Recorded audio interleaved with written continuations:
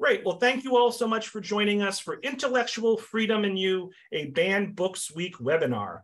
Book bans are on the rise across the country as states seemingly compete to see who can place the most restrictions on free speech.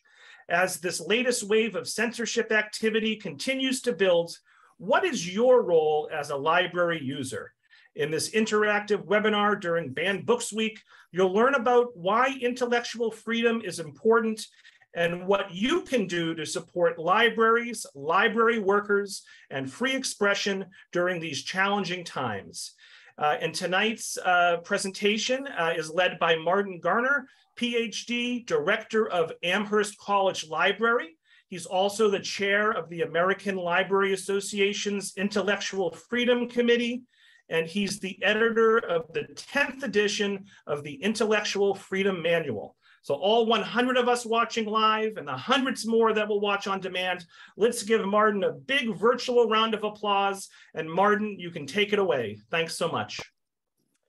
Thanks, Robert, for that uh, very kind introduction. Um, I will uh, gladly say that I am now the past chair of the Intellectual Freedom Committee. It's a big job, and I am glad to have uh, given it on to somebody else because uh, there's a lot of a lot of good people doing the work. Uh, so I'm so glad that all of you uh, decided to join us and I'm going to be asking a little bit later uh, what brought you here. Um, but what I'm going to do is tell us what we are going to see here. So let's see what you can expect for tonight. Uh, and I'm coming to you from South Hadley, Massachusetts. So I'm waving at you from the center of the state uh, to my friends in the East. So what can we expect? I'm um, going to lay some groundwork so that we are all on the same page when it comes to terminology. Um, we are going to talk about what you should know about the challenges that have been happening uh, and also talk about um, how you can help because this is not uh, something that we who work in libraries can uh, manage by ourselves. We need your assistance uh, and we will have some time for discussion. Uh, my, my general plan is uh, I'm going to ask you for some input a, a, couple times during the presentation, but we're mainly going to have you uh, have questions at the end. Um, as uh, Robert mentioned, if you put them in the Q&A option, that will make sure we'll, we'll we, th that tracks it really nicely there. Um, other stuff in the chat, uh, I will ask you to put in the chat because that flows up a little bit faster. Sometimes it can be harder to keep track of that.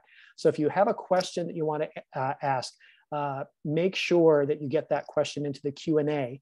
Uh, that way we will see it. All right, so what is intellectual freedom? Um, it's in the title of the webinar. And what I wanna do is find out what you think intellectual freedom means. If you hear that phrase and someone said, intellectual freedom, what's that? How would you explain it? So using the chat, how would you try to explain what you think intellectual freedom means? This is the interactive part.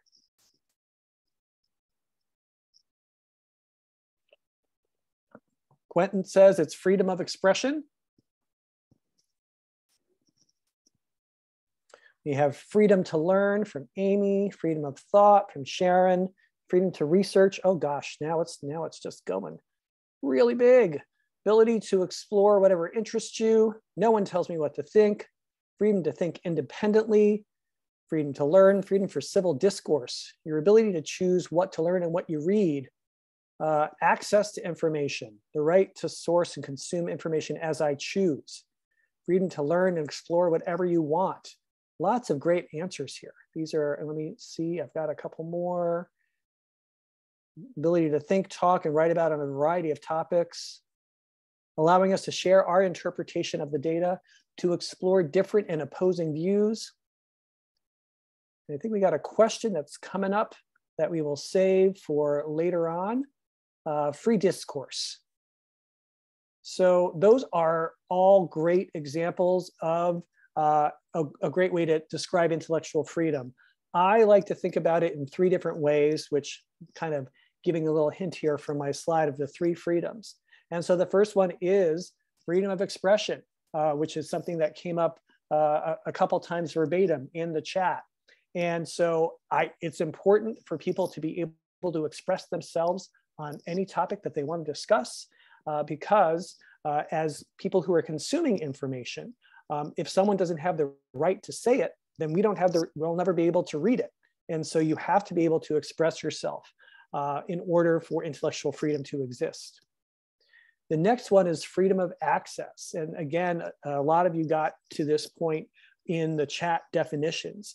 Um, it doesn't matter if someone has been able to say something or write something or create something, but we cannot access it for whatever reason. If it has been limited access in our community, or it's not even purchased for our community, or if we don't have the skills to access it, so education is important.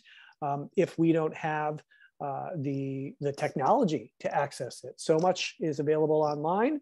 Uh, and if you don't have broadband these days, you might as well not have access to the internet at this point. So uh, access is really uh, central to making sure that people can exercise their intellectual freedom. Uh, they have to be able to get to what they want. They have to be able to get past any barriers that are in their way, um, and then be able to consume it in a way that makes it useful. Now, this third one is one that I, I don't think I saw this topic, uh, this idea come up, um, but it is freedom from surveillance, which is kind of a fancy way of just saying privacy. But you know, I, I, like the three freedoms idea, so I came up with three ways to say it. And privacy is important to intellectual freedom because if you feel like you are being watched or monitored, um, you may not look up controversial topics. You may not look up uh, things that you uh, don't want people to know that you're interested in. And so if you're researching a sensitive topic, because maybe it's something that you disagree with with the rest of your family, or maybe it's something that's an unpopular view with at your workplace or with your friends, uh, you want to feel like you can uh, look at those uh, items, look at that information without having someone watching over your shoulder. And that's hard to do in the digital age because there's so much stuff that's being tracked online the library is one place. Uh, one one place there there there are there might be some others but library is one of the most reliable places where you can go and have a sense that uh, because you are there that you can uh, be working with people who you trust uh, to keep your information safe and to not be tracking what you're looking at so those are the three freedoms that for me make up intellectual freedom now, Banned Books Week, I just want to talk a little bit about this because here we are. This is actually Banned Books Week. I'm sure this is something that you've heard of uh, because did you know that this year is actually the 40th anniversary of Banned Books Week? It's a big year. Um, this first started in 1982. It's a project um, originally of the Office for Intellectual Freedom from the American Library Association, but we have a lot of partners around. A lot of people have gotten excited about this. And uh, it's it's been around uh, and was introduced as a way to promote awareness of the challenges that uh, library materials have been receiving for a very long time. Um, and it's not just library books that get challenged, but I'll talk a little bit more about that later. And so this has been a programming effort um, that uh, is is meant to raise awareness, and this is why you're here. Um, it is uh, sometimes controversial because people hear the word banned books and they start to kind of decide is that the right term? Should we you know is it really banned? Because you know one library might remove it from the shelves but i can go get it somewhere else. So that that's not a ban. Um, it's not like the book has been confiscated by the government and destroyed or prohibited from coming.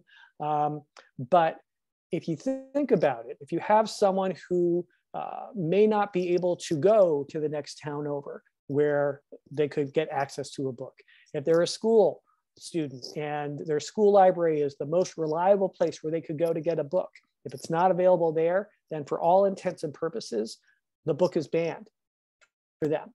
And so uh, while we've gotten some pushback over the years around the title, and I will tell you that when I was a librarian uh, back in uh, Colorado, uh, where I lived for about 24 years and was working at a, at a university there, we had a uh, professor who came in and saw that we had a banned books display. And he was upset because he said, well, technically they're not banned.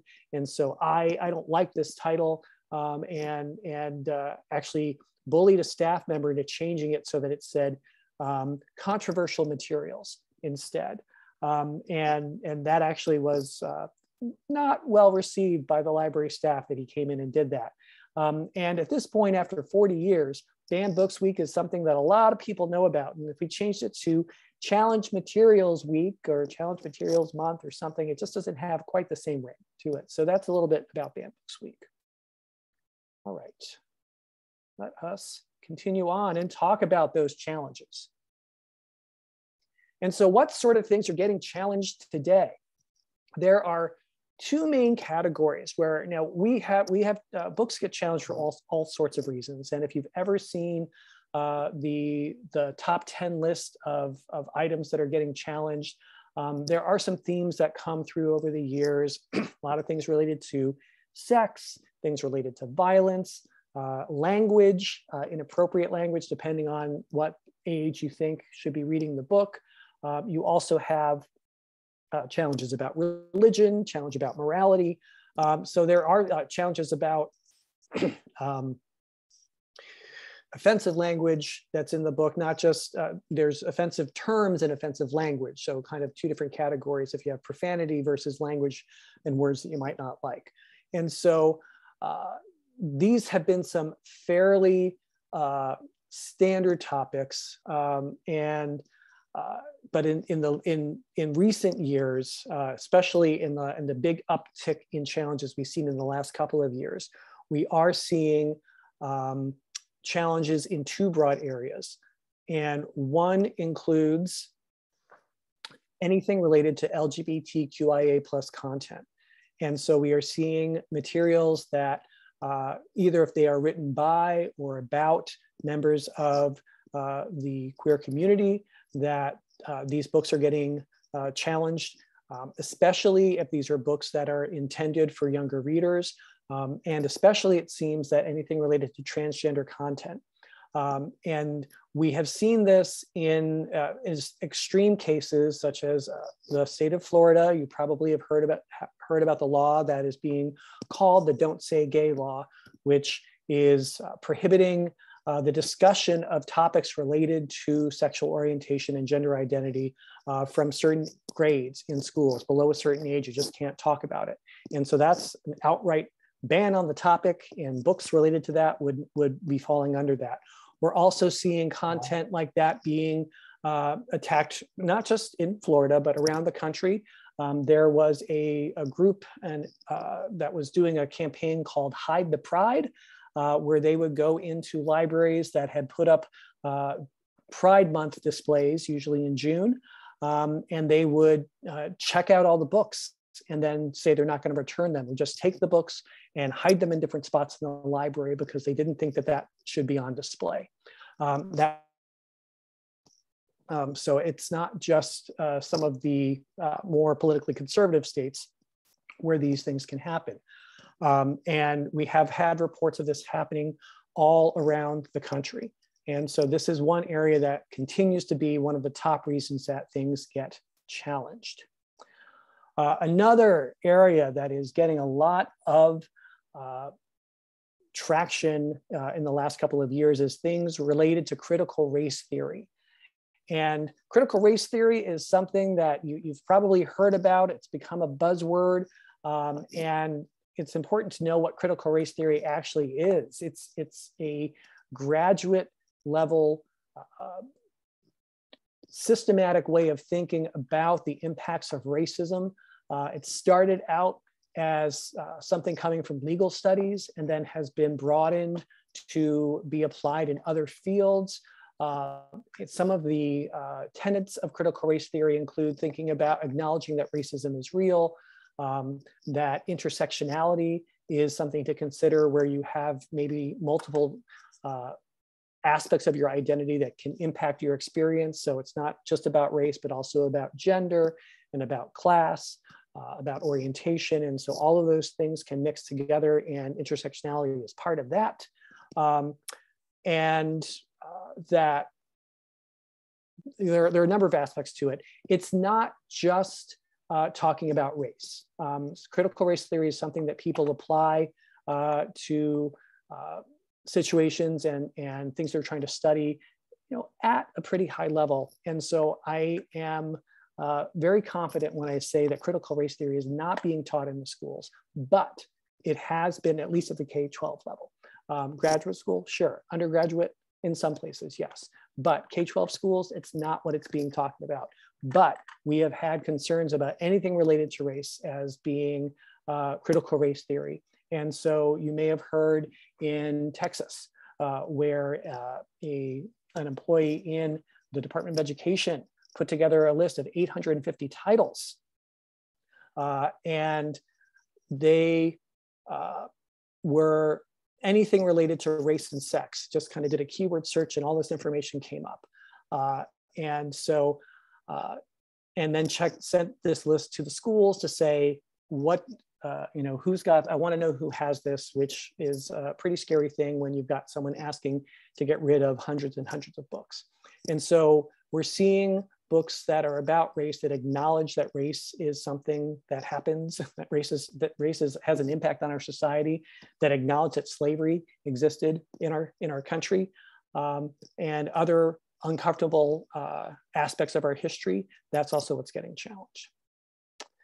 And it's not just books that are getting uh, challenged. We have uh, online resources that are getting challenged.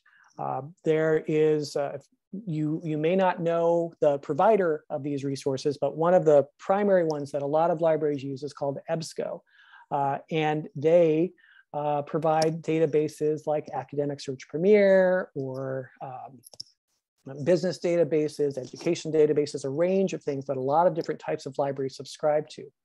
And there was, uh, there is uh, uh, a couple of people in Colorado in fact, uh, hap happened in the state that I used to live in, uh, that decided that uh, EBSCO was allowing pornographic materials into its collections and that people in schools were able to search for pornography and find it through EBSCO. Now, when given this information, uh, librarians were not able to actually replicate their search and they could not pull up information that, that uh, met the, the criteria. Um, but uh, this couple was so convincing about uh, the, their concerns that they actually convinced hundreds of schools in Colorado to drop their subscriptions to the EBSCO databases, just cutting out access to thousands of journals and magazines that students were using for research. And it wasn't just in Colorado. The state of Utah actually turned it off for the entire state because they have a statewide contract uh, for a couple of months until they were able to get it back on. Um, and there have been attacks at, or, or, to this uh, all around the country. Uh, and it's, it's a challenge because uh, if you are cutting off entire platforms, it's like saying, you know what, we're not going to buy any more books from Simon and Schuster. The entire publisher is gone. And so if you're cutting out entire platforms, um, and in some cases, this might be the only uh, information uh, database provider that you have, then it really has an impact on what people can do. Um, also examples of Overdrive. If people are familiar with Overdrive as an ebook provider and uh, concerns that there could have been a book that was racy on Overdrive. And so some libraries, again, a library in Texas, cut off access to Overdrive, which meant that uh, library users who are homebound and cannot get to the library and who depend on ebooks uh, for their content were suddenly cut out from the library with no recourse. And so uh, these challenges can have wide ranging impacts uh, depending on how they're implemented. Programming has also been a big challenge. Um, and some of the, it, it's topics that, um, again, are not dissimilar to what we see challenges when it comes to books uh, and other resources. So programming that touches on uh, sexuality. You may have heard about Drag Queen Story Hour, uh, uh, something that's been a popular program at libraries around the country uh, and has been uh, a cause for a lot of concern for folks who don't think that that's appropriate. And so the programs get challenged. And sometimes this is reason for actually changing the policy of who's allowed to do the programming and what sort of people are invited in. also, um, not just programs that are put on by the library or that are put on by another group that is borrowing library space. That's often times what's happening, but also groups that are having meetings. And so groups that might be considered by some to uh, be uh, what they, they might, uh, opponents might label them as hate groups. And, and whether it is something where they don't agree with their politics or they don't agree with their beliefs, uh, and people find that distressing to have those groups meeting at their library. And so there were protests about that and who should be allowed to use meeting rooms. So that's kind of the big picture in terms of what are some of the, the big the challenges we're seeing both to uh, stuff um, to the uh, you know not just the the books that we're that we are normally have on our shelf um, but also to have uh, challenges to the resources you get through the computer uh, resources you can access from home, um, the types of programs and services you see at the library. Uh, so it's, it's a range of things that are, that are coming after. And, and what are some of the, the impacts of that also include uh, not just loss of access to the materials, but we also have also had libraries who are having their funding cut, who are having uh, their, their staff um, are, are either resigning out of protest or are getting fired because they are trying to push back against um, governing bodies that don't want to support uh, free access uh, to information. And so uh, it really becomes a difficult situation. And so there are things that we need to uh, get help. And this is what we're going to talk about next, where we can get some help from you. So in terms of ways that you can support free expression, one way that you can support free expression is to get educated about the issues. And so actually coming to a program like this is a great way to do it. Uh, you can also uh, stay uh, informed by following stories in on the local news. If you still have local newspapers, uh, that's another thing that's in danger, but we can talk about that another time. Um, and uh, find out what uh, you know what what's what's happening and why things are happening so that when you hear about stories you can uh, uh be educated about it and know what know what the issues are uh, so that you can then speak up. Um, maybe you are in the grocery store and you hear someone talking about oh gosh you know did you hear that they were uh, there's some people upset about uh, books at the school, and I hear that, that those books are filled with all, all sorts of trash. And you can say, actually, uh, I, I, I, know about those books. I, I read them myself, and I, I, I, think that you know they're being it's being blown out of proportion or it's being taken out of context, uh, and so that you can actually speak up and help correct some of the misinformation that is used when uh, items in libraries, when programs at libraries are being challenged uh, unfairly. Uh, you can also speak out. There are uh, times when we need to have the public come and support the right to uh, free expression and the right to have uh, access to information uh, when there are uh, challenges that are made either in public libraries or in school libraries. And often these, these will be times at the boards, board meetings where you can sign up to speak and talk in favor of having access to information. Uh, I want to be clear uh, that something that librarians have talked about for a long time when it comes to uh, the role of parents and their, uh, their guidance for their children in access to information. We absolutely believe that it is parents' right.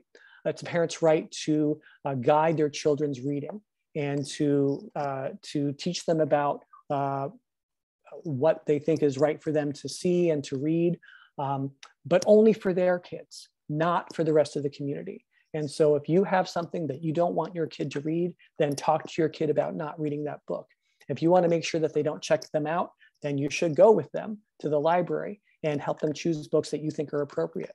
But it's not your place to decide what's appropriate for the other children of the community or for other people's uh, other people's kids. They have uh, those parents, those guardians have the right to decide what their kids can see.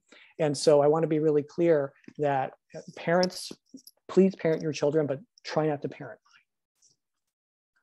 Uh, it is important to also educate your representatives about what the issues are and what you believe in.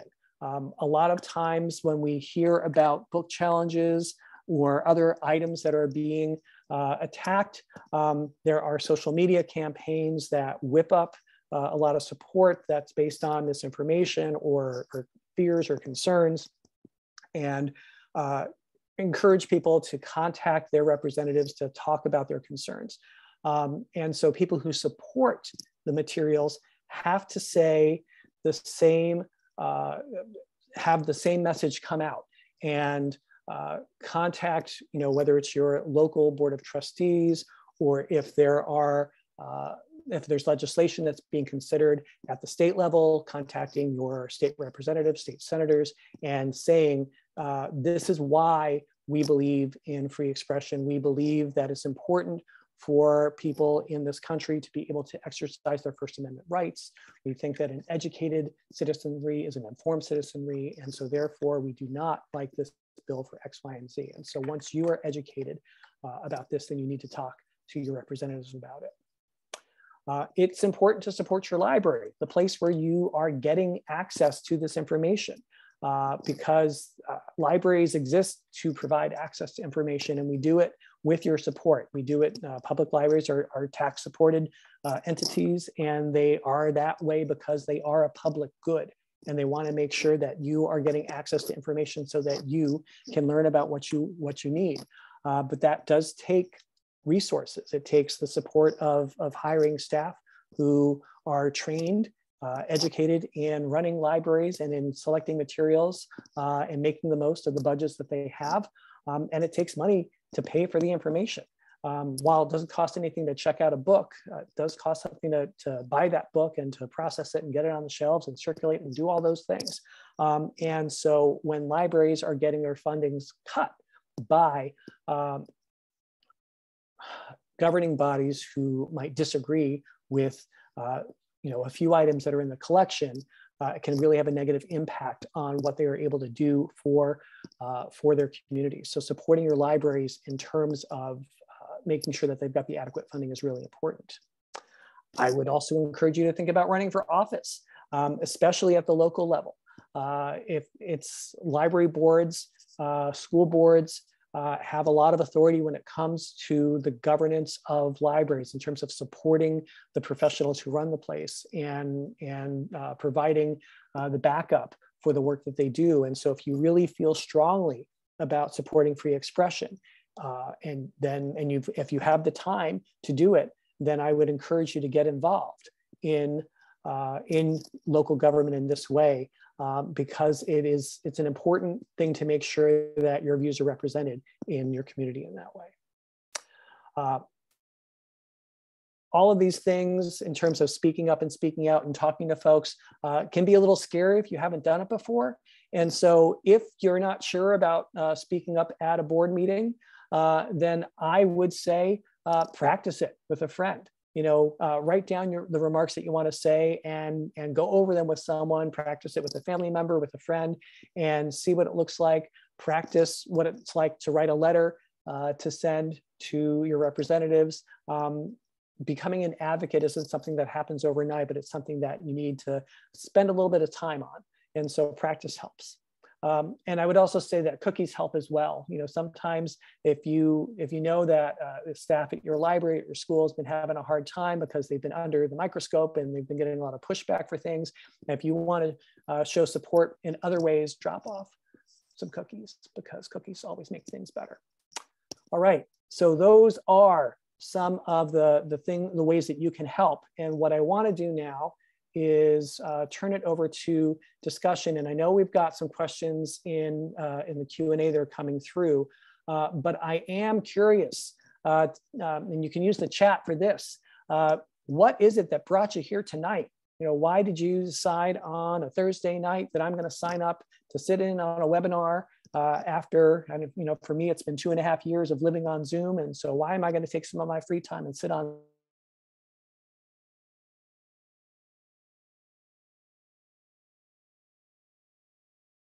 that was even in the chat before this came up. Uh, and so we've got my teacher, we've got Mr. Phelps and some laughter. Wants to learn more about opposing book bans, very concerned about free expression in this country. worried about the number of book bans. Mr. Phelps is definitely getting some props here.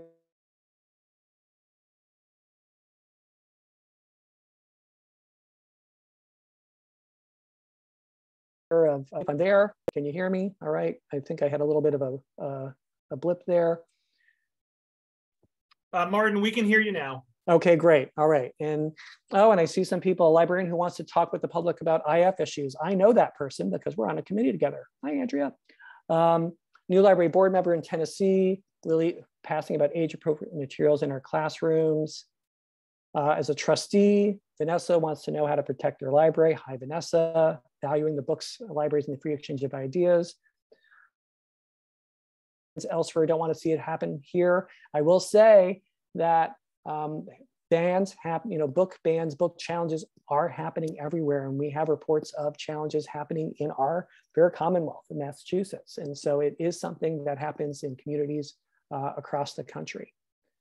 Uh, and so education, uh, we, we are in the children's publishing class at Emerson, excellent, all right.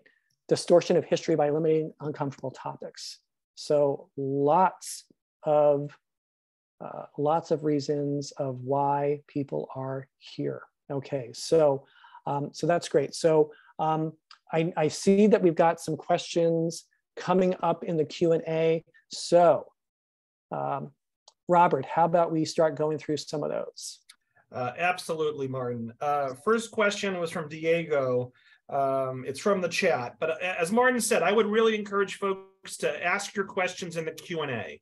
So chat will be for comments, Q&A will be for questions. Uh, but Diego asks, and there were similar questions along these lines as well. Are there ever any valid reasons to ban books?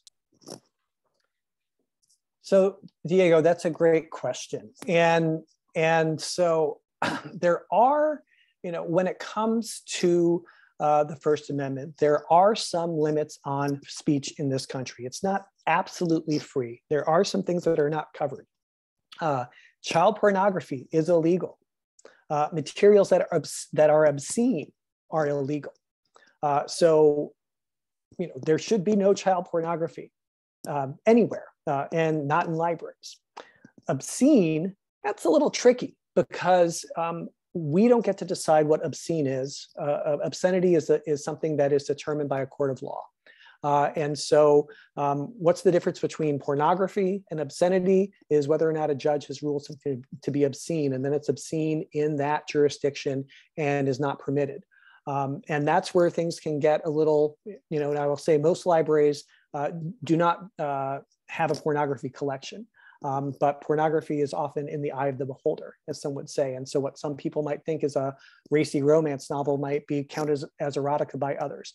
Um, or if you have a book that is intended for, um, you know, a, a, children's book about puberty that includes illustrations, uh, like a book uh, by Robie Harris called "That's Perfectly Normal," uh, that's been around for decades uh, and has uh, gotten a lot of acclaim for being a very uh, approachable and effective book about puberty, uh, but also has been charged with being obscene in some jurisdictions, not too far from here, in fact. Um, so, uh, but if something were actually declared to be obscene, then that would fall under, no, that's illegal speech, we can't ban that, or we can't have that. So that would be an appropriate thing not to have in your library. Um, I would say that when it comes to, uh, you know, are there things that uh, that should be banned from libraries? I think about the larger library ecosystem. Um, there are uh, reasons why librarians arrange our materials. Uh, say in the public library, we have different areas. We have a children's section, we have a YA section, we have an adult section. And so we do put books in those areas that we, uh, in our professional judgment, believe are geared towards those people. And so we will have children's book in the children's area, and we will have young adult books in the young adult area, and we will have books that are intended for adults in the adult area. Um, if you're in a school library, um, there's a lot of thought given about the developmental age of where kids are and what information um, is going to be uh, helpful for them at that point. And it's really hard to say because uh, kids do mature at different rates and people are at different places in their life and, and ready for different things. But Um, what I would say uh, is that you know there are there have been times where books that may have been left behind uh, you know in an elementary school when an upper grade got moved up to say the middle school if you had a grade realignment and sometimes books that were intended for older readers don't always follow out and so there are times where that uh, you know it's better to transfer those books to where they are best used. There are other times where there's information that's just plain out of date or wrong. Um, i think about uh, medical books that have bad information. Um, and so uh, there are times where it's good to um, clean up your collection to make sure that you don't have out of date or wrong uh, information in the case of, say, medical books or, or legal books that are out of date that are giving out bad information. And so it's not that it's a ban, uh, but it's making sure that the information that we do have is useful and, uh, and intended for the communities that we're serving. How about the next question? Sure. So Frank asks, uh, is there an all accepting library system allowing individuals access regardless of the state they live in, allowing them to access books that may have been banned in the state they live in? Well, I am aware of, you know, Brooklyn Public Library is one that has been providing an electronic, uh, an e-card, um, but it's been specifically for teenage patrons who are in states where they have uh, you know where they they they may not have access to a book it's not been done. I, I don't believe that they've uh, offered that program for anyone. I think they're specifically targeting teenagers uh, because they're having uh, more difficult access to that material. Um, one of the challenges when it comes to to expanding uh, ebook access uh, and, and, library access in general outside of the jurisdiction that actually supports the institution is that we libraries usually are making deals with publishers and content providers based on the population area that we serve and we pay a certain rate uh, and so uh, that is, uh, you know, it, it's it can be challenging to extend access along those way, uh, uh you know, beyond that. But I, you know, Brooklyn has found a way to do it. Uh, so that is one example um, that I know of where nationwide, if you are a teenager who's having trouble accessing materials at your own library, you should be able to get a card through Brooklyn Public. All right. Um, Frank also asks, when contacting representatives, uh, is there a script or template to follow so that the message is clearly presented and understood? Uh, Frank, yes. Uh, almost every time there's going to be an advocacy campaign, uh, if there's an issue where where we need to get the public support, at least it's been my experience in working with my my previous state library associations, and I, I think we probably have some folks from MLA who are here now, uh, where they talk they they do create talking points um, and that's something that uh, is generally available. Uh, there all are some, also some library, some national library advocacy groups um, that create talking points on different topics that you can use with legislators. So if you're interested in that, I would reach out to your local library, and then we can do some research to find uh, those sources for you. Comment from Elizabeth. I have moved to Florida. I'm trying to inform friends about this threat to democracy uh, through uh, school committee elections. Uh, we need to protect information freedom.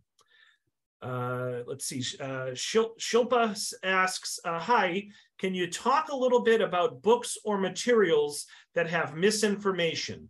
Should these types of books be a part of library collections? You know, that's, that's a really great question because misinformation is something that uh, it depends who you ask uh, whether or not it counts as misinformation.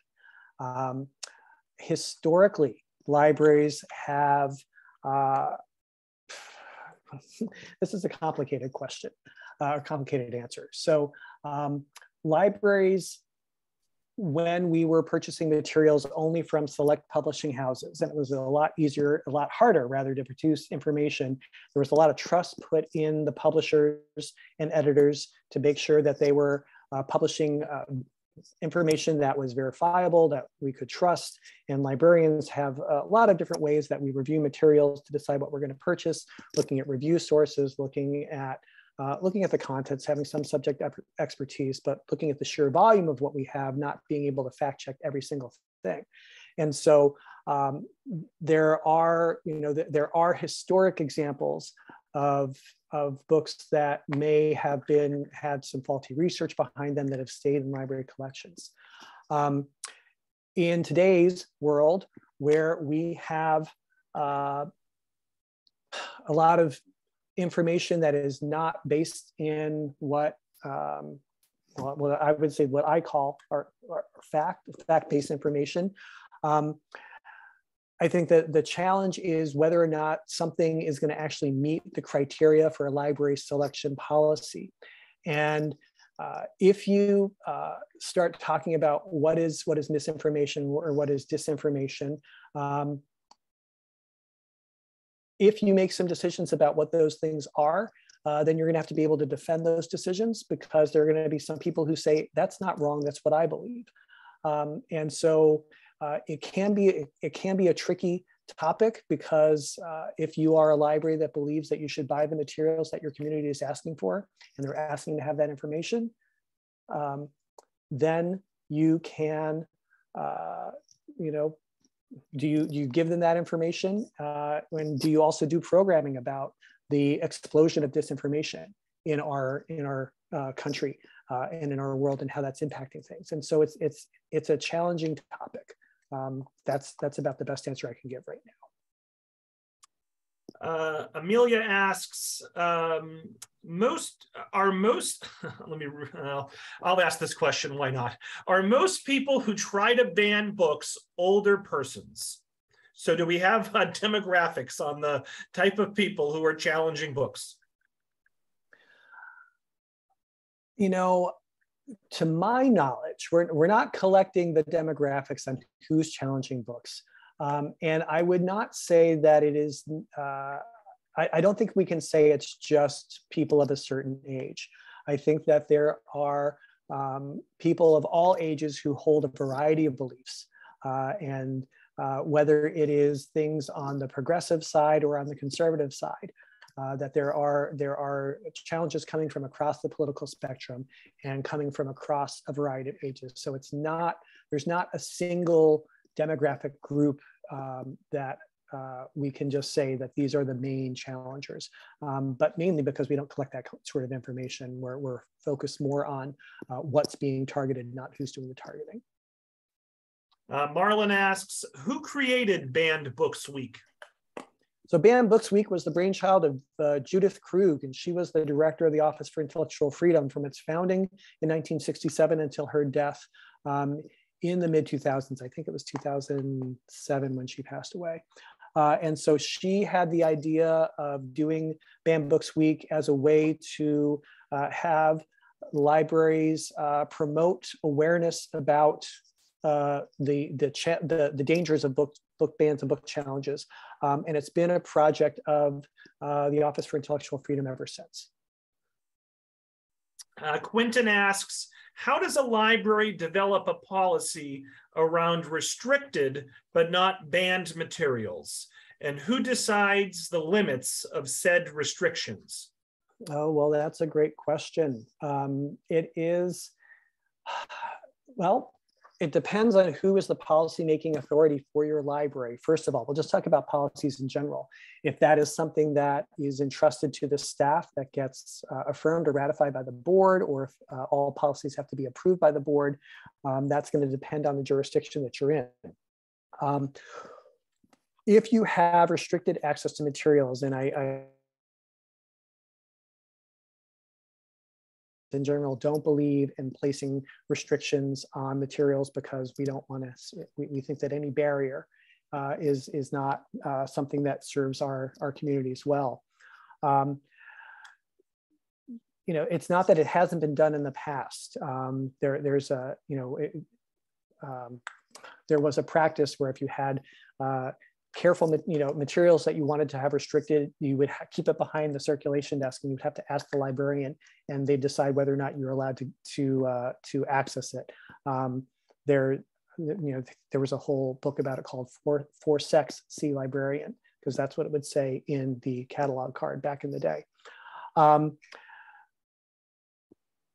I would say that when it comes to restricted access, it's we normally try to just focus it on things that are like valuable materials, whether or not it is in uh, our, uh, you know, if it's in our special collections, if it's something that's rare, and then it, you, you, decide who has access to that. If you have something that's been donated, uh, archive archival material, uh, and the donors say that we don't want anyone to access this for 20 years, then that's kind of the access that we're talking about. Um, if you have materials, uh, there, there have been uh, libraries that have been pressured into creating, um, you know, what they used to call parenting collections. They might put materials that are um, intended for young people, but are on topics that might be controversial, and they shelve them in the in the parents' collection or in the adult collection. And so they ask, uh, and so that way kids can't find them easily and instead parents have to try to find them. Um, if you're gonna try to restrict access, it gets hard because um, how do you enforce that? Um, and it, in terms of, if it's gonna be in terms of parents and kids, we really don't wanna put library workers in the role of parents uh, and, and just telling a kid what they can and can't check out.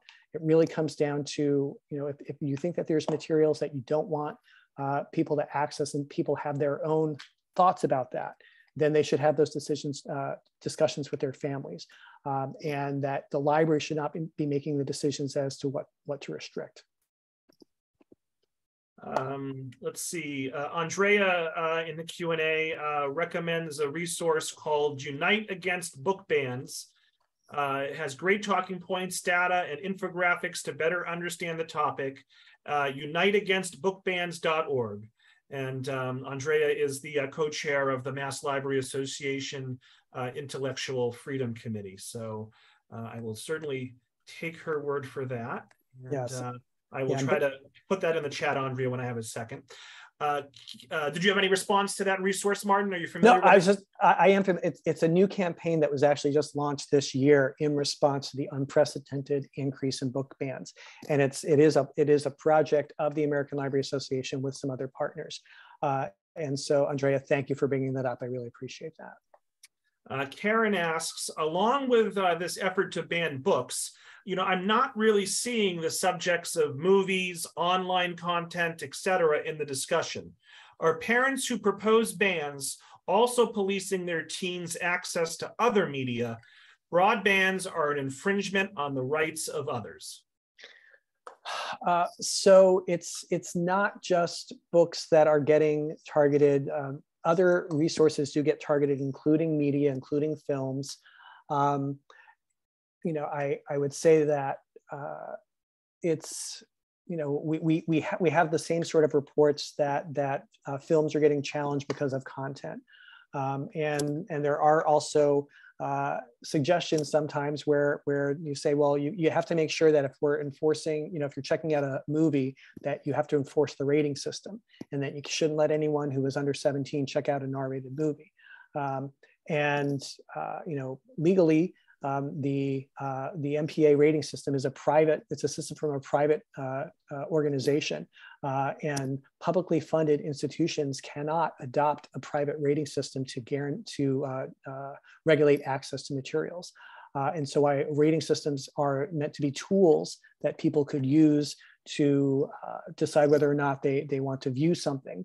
Um, it's not something that should be used. Uh, there, has been court cases about this uh, to restrict access. That, that, kind of ties back into the previous question.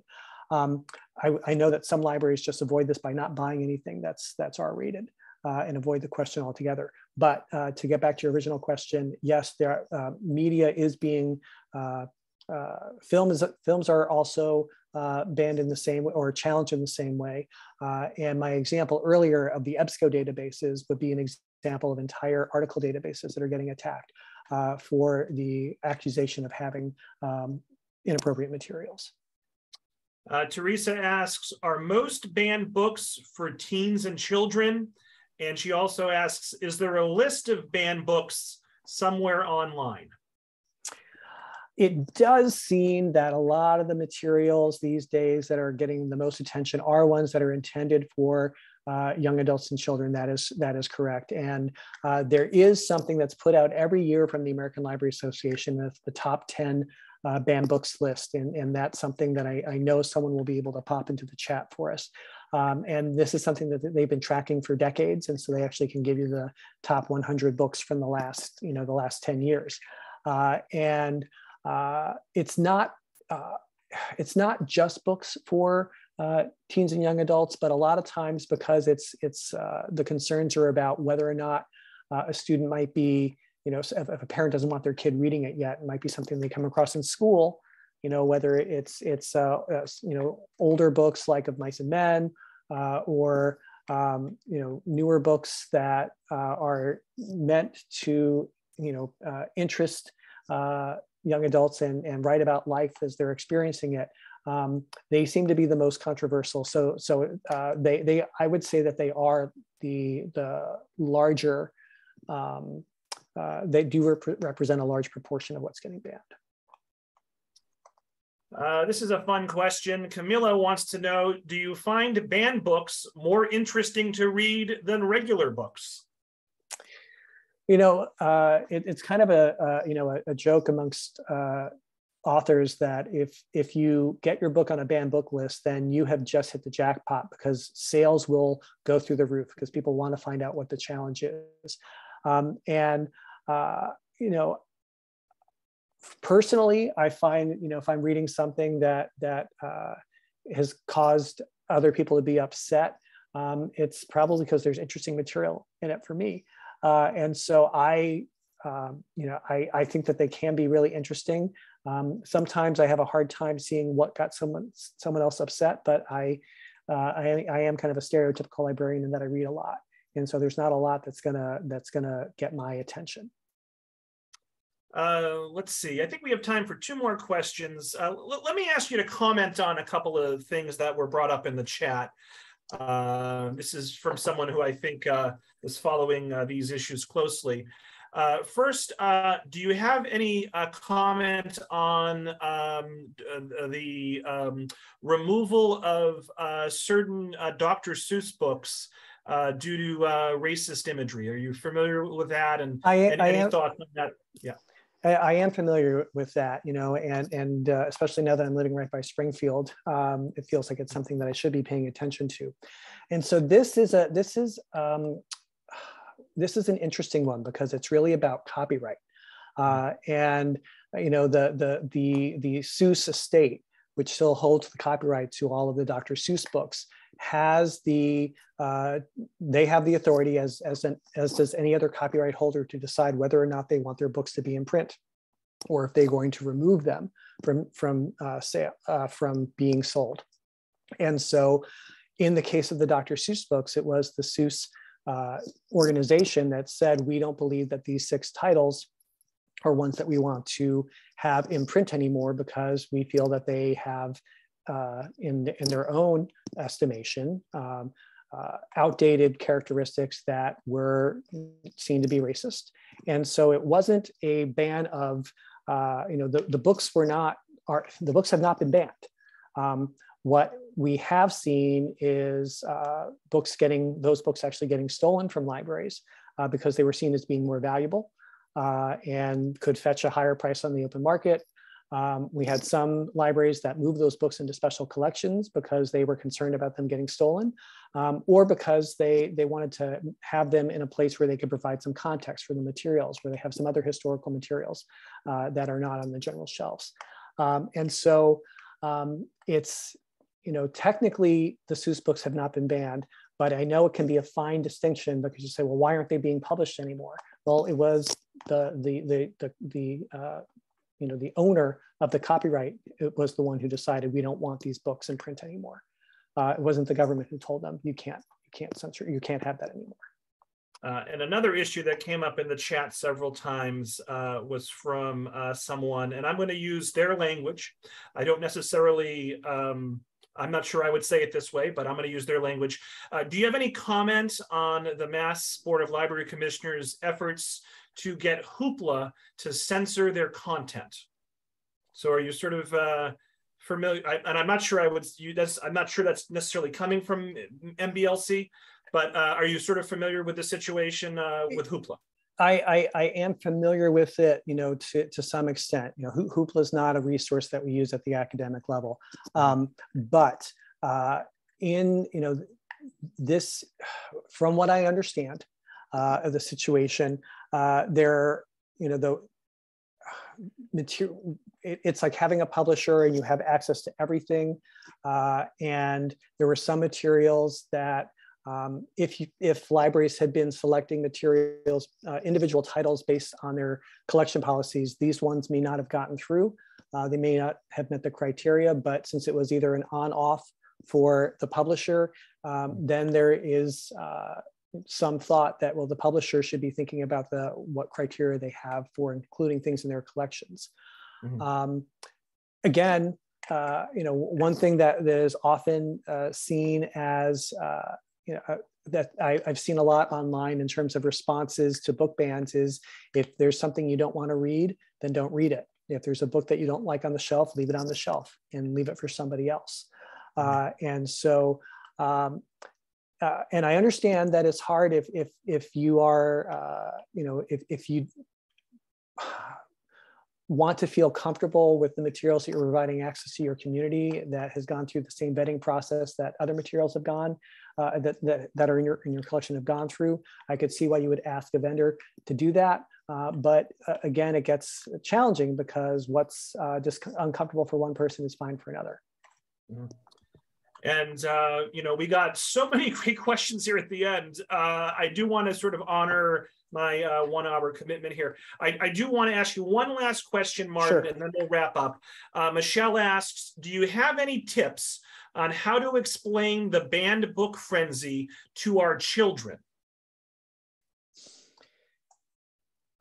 That's a great question.